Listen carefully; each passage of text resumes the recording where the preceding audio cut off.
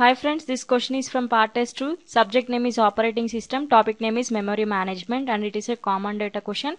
Each question carries 2 marks. Let us see the question. Assume that pages are 512 words in size. Consider a Java program whose function is to initialize each element of 512 by 512 array to 0. Assume that each element needs one word and only one frame is available. Consider the following code two code fragments let us see this one. Int of for this. Let us see this code. Consider this code code a. Int of equal to new int of 512 comma 512 for int j equal to 0 j less than a dot length j plus plus. For int i equal to 0 i less than a dot length i plus plus. A of ij equal to 0 for this code the elements will be like this. A of 0 0 a of 1 0 and so on a of 511 0 up to 511 by 511 next code. Int of a int a of equal to new int of 512 512 for int i equal to 0 i less than a dot length i plus plus.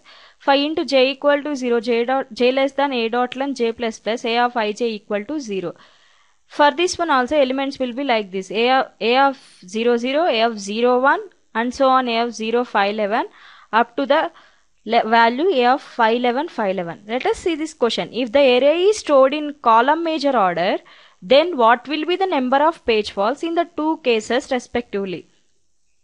First we saw in the row major order. Now we have to see the operations using column major order. Let us see the options. Option a 262144 comma 512 option b 512 comma 262144 option c 512 comma 512 option d 262144 comma 26214 we have to get the values as like this a00 a10 and so on a0511 and like that.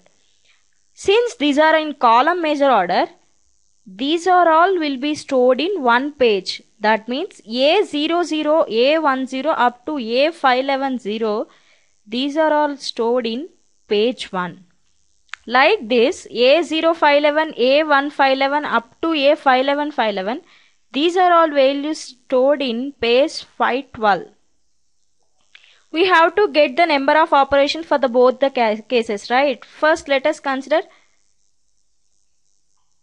code fragment a.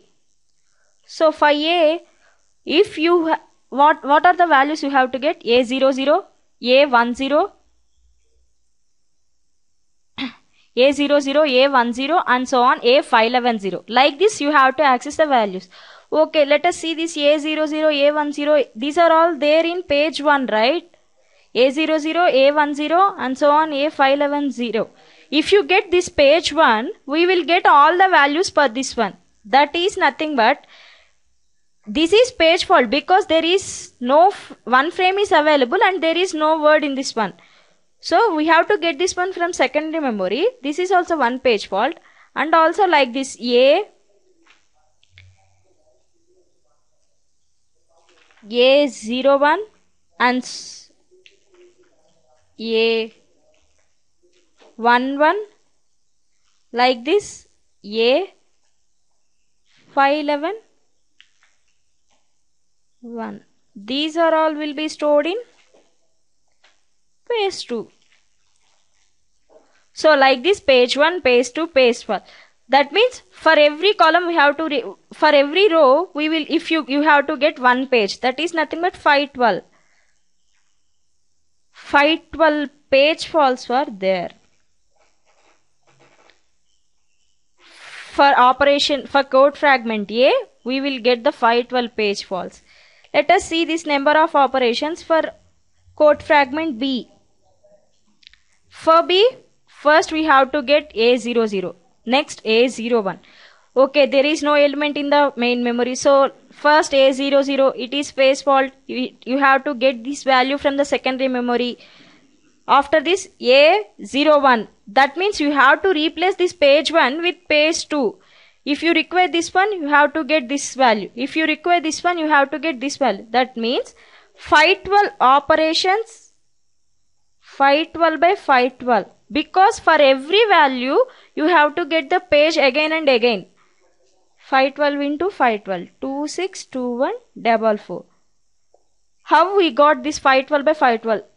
N- Again we will discuss. A of 0 0 axis in first column of array is fetched and stored in the available frame and it gives one page fault. Next element will be accessed is A01, A02, A0511 that are present in different pages and initializing, initializing them to 0 will cause a page fault every time. Likewise, for accessing each element of the array there will be one page fault. So, total page faults will be 512 by 512 which is nothing but 262144. For option for A code fragment it is 512 page faults. For code fragment B it is 2, 262144. Let us see the option which is nothing but option B. From this question what we learn how to find the number of operations using column major order.